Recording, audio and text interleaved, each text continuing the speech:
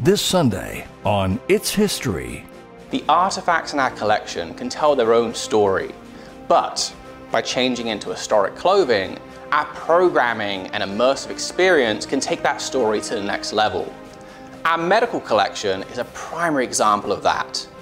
On their own, they are a wonderful collection of the surgical implements, the physic, and the apothecary items that a colonial surgeon in this region would have used.